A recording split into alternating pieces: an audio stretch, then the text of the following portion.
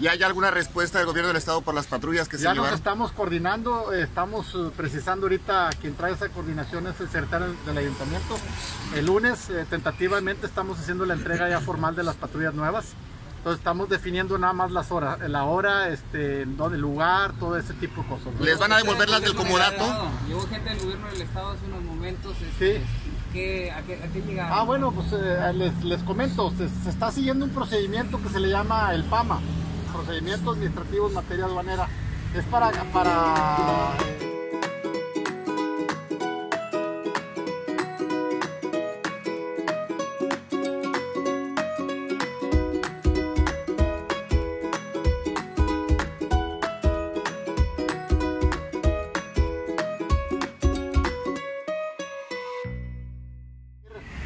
la cuestión de, de la legalidad de las, de las patrullas.